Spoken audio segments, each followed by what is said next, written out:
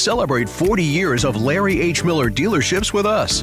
We opened our first dealership in 1979, looking down the road to the future. And today, with more than 60 dealerships across seven states with millions of happy customers, we're still looking toward the horizon. It's all driven by you. You're at the center of our business. We're looking forward to the next 40 years to make connections, build relationships, and enjoy the milestones of life with you. Come and celebrate with us. Here's to the next 40 years, driven by you.